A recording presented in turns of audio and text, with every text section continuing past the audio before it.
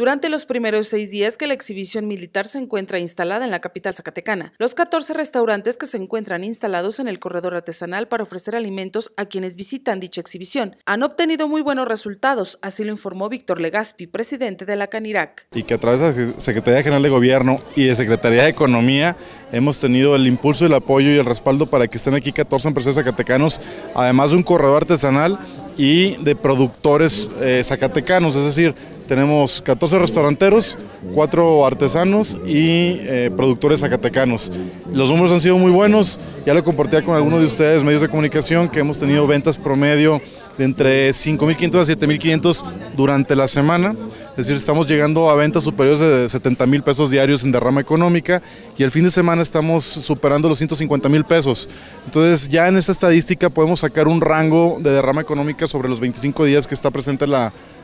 Expo Fuerzas Armadas y bueno, estamos muy contentos porque estará cerca de los 2 millones de pesos en derrama económica, una, una oportunidad única para los restauranteros, además de la derrama económica, de que los zacatecanos tengan la oportunidad de consumir sus productos, de probar sus platillos y que posteriormente eso se vuelva una cartera de clientes hacia el exterior o hacia la permanencia que tienen los restauranteros en sus ubicaciones o sus domicilios. De otros municipios, así como de otras latitudes, han visitado la exposición, encontrando variedad de platillos típicos zacatecanos. Sí, hemos tenido visitas de diferentes municipios, eh, hemos tenido personas que nos han dicho que vienen de Valparaíso, hay gente también de Fresnillo, hubo gente de Jerez, de Villanueva, de, hemos tenido ya visitas también de San Luis Potosí, de Aguascalientes, entonces, ay, de Durango también estuvieron mucha afluencia, entonces, además de tener la oportunidad que los zacatecanos disfruten de, las de la Expo Fuerzas Armadas, también los estados vecinos de Zacatecas han visitado Zacatecas y han tenido la oportunidad de disfrutar este gran, este gran evento.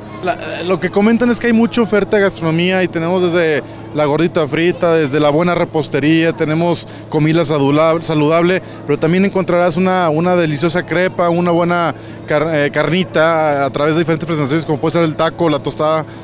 y burritos. Entonces tenemos una gran, gran diversidad de platillos para que dependiendo de tu antojo y dependiendo de tu línea, es decir, si, si estás eh, eh, comiendo saludable, pues puedes encontrar una ensalada, o si quieres darte ese antojo de fin de semana, puedes encontrarte una, un buen taquito de tripita, un buen taquito de bistec o una buena gordita frita. Con imágenes de Oscar Hernández para Canal 15, Alejandra Márquez.